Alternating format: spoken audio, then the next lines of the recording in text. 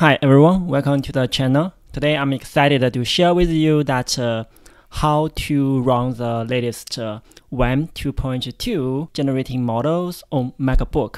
I hope this video is useful to you. Please uh, subscribe to my channel to stay updated for future updates. Make sure that uh, for your Comfy UI, you change it to your Comfy UI location and you do a upgrade make sure that it's the updated uh, latest uh, code. So usually you do a git pull for that.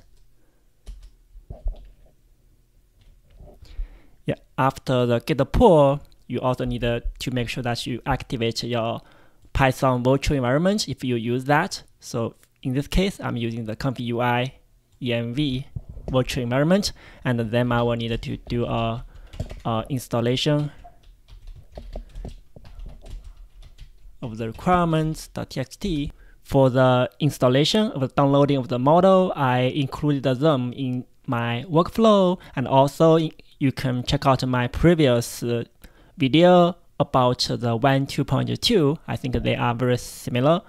Um, one thing to notice is that uh, uh, we will be using the GGUF formatted model because it can save lots of disk space.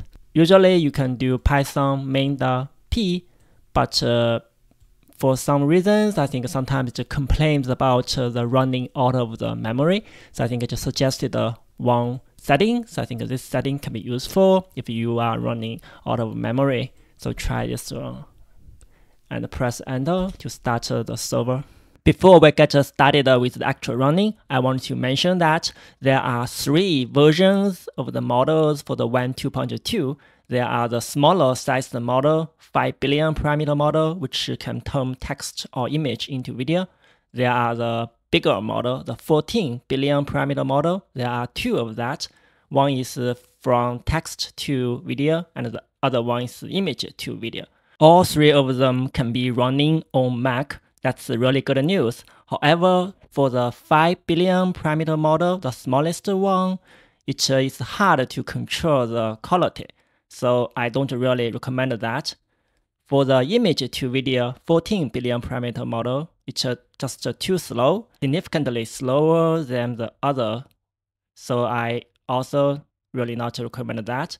However, for the 14 billion parameter model, the text to video one, it's running great. So I will do a demo running that on my MacBook Pro. Yeah, so this one is uh, what I rec really recommend to try it. So I will upload uh, the workflow to my GitHub repo. So please grab that uh, there and you can drag it onto your Comfy UI web interface to experiment with it. So as I mentioned, there is uh, the GGUF version. So this is the the high noise 14B Q4. You can even try Q3. That can be even smaller size. So this is the high noise. This is the low noise for the 14B. So because this uh, high noise and the low noise are being running sequentially, so they don't uh, need to be run at the same time. So, so that can save quite a, a lot of disk space. So this one is the 514B. The quantized version is about 8 to 9 gigabytes, so not uh, terribly big. So that's also good news. And uh, another modification that uh, you will need want to do is to like further optimize it by using a LoRa. So this this LoRa can uh, greatly decrease the number of steps needed. So usually it need like 20 steps. So by using this LoRa, you only need a six. So this is six. So the first step is for the high noise. You only need a six. You do three step you, from six, the total six, zero to three, and then from three to six is the low noise. So high noise, low noise, and uh, and uh, then I think uh, the, the other things that you may want to do is to uh, do a customization of the video size. So this one is the video size. This uh, um, if it, it's a bigger number, it takes a longer time. So usually for MacBook, because usually it takes longer, so we I really recommend to start with something smaller. So for example, this one is uh, 420 by 240, and you can try to generate less uh, frames to see how it works. So I set it to 81, and then also make sure that uh, the sampler name starts with the older and simple scheduler for high and low for both of them. So this one is another LoRa, but I commented out because I think uh, it affects the generating quality, so I don't really recommend that, but uh, feel free to experiment with it.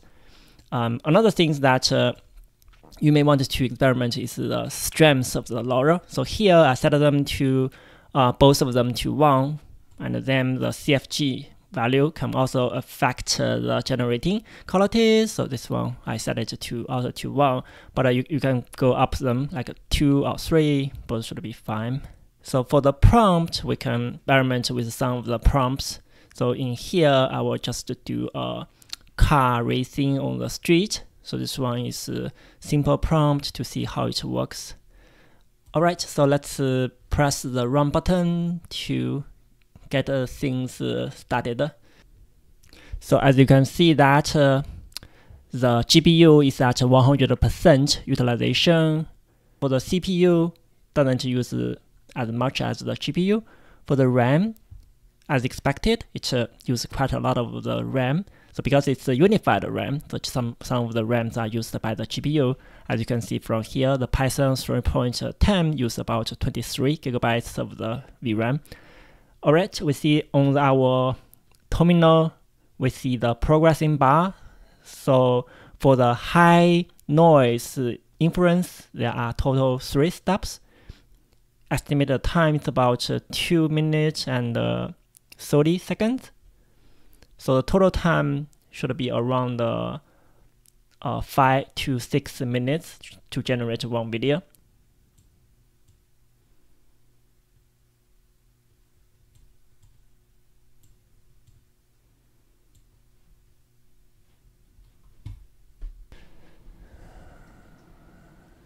So after the high and the low influencing three steps for each, total six steps, we see the total time used is about uh, five and a half minutes. And then I think the last step is uh, the VAE, the one VAE part. Alright, so the total executing time is uh, about 400 seconds. So let's see the results, how it looks like.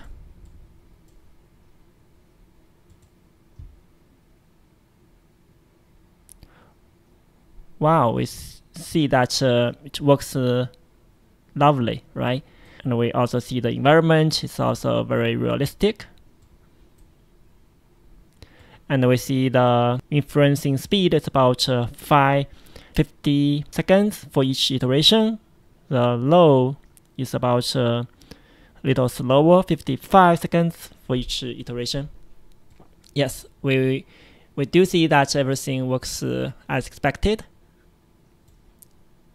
And it uh, is not terribly slow, so I think that's also good things. I think we can keep uh, experimenting. For example, we can even decrease the steps further. I think if we can use uh, some of the more advanced uh, LoRa for that, I think uh, Uh, let's uh, hop on that. Overall, it's a nice experience. We don't see any warnings on the terminal. We can use the, our GGUF, which work, works wonderfully. Thank you for watching. Please give it a thumb up and share it. Please uh, subscribe to the channel for future content. Thank you for your support. Goodbye.